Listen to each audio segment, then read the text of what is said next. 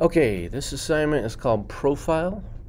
Uh, the purpose is to boost your image on Canvas. I want you to upload a photo of yourself right here. I'm going to show you how to do that.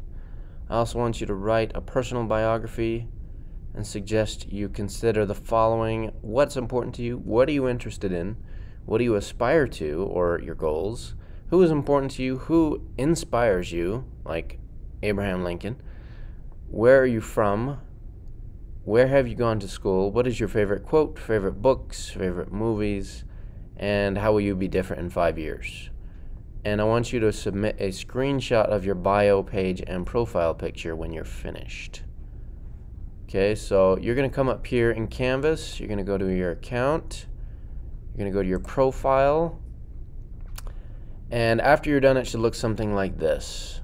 Okay, you've already written uh, you've written your profile. This is my my uh, bio biography. I've taught it.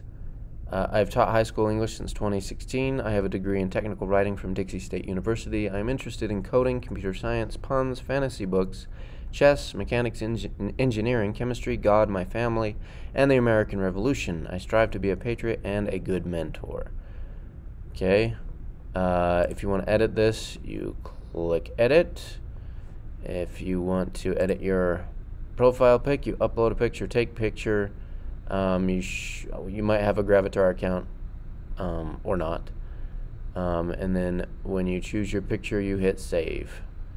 Okay, that should be it. You only have to email me on this if you submit late.